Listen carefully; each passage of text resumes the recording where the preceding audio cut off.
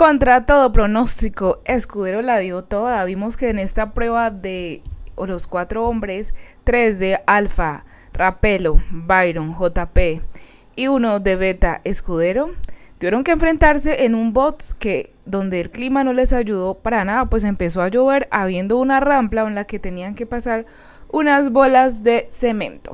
Vimos que la prueba la empezó a liderar Rapelo, quien culminó de primero. Luego siguió Byron, le seguía muy de cerca. Eh, vimos cómo JP y Escudero se ayudaron en varias ocasiones porque los dos quedaron casi iguales. Se ayudaron a subir en la rampa, luego se ayudaron a pasar por debajo de una malla, ya después la suerte era dependía de cada uno.